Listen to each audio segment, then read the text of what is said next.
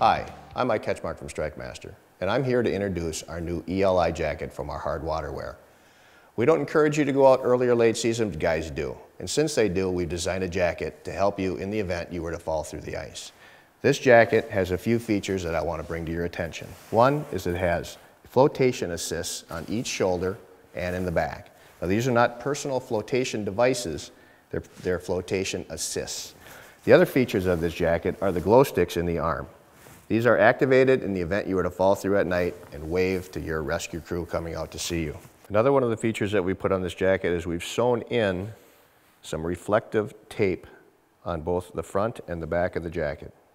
It also has carbide tip pads on each arm. So if you were to fall through, you can assist yourself in getting out of the water.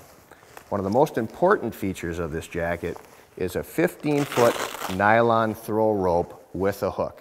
So I could stop my rescuers at a certain point where I felt they're going to be safe and throw this 15 foot line to them.